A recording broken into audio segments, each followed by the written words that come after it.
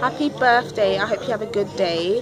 One day we'll both be on the TARDIS together and you know we can celebrate it with the doctor without. I don't mind, you know. We can do this together. I hope you have a really, really, really special day and get everything you want and you know, etc. etc.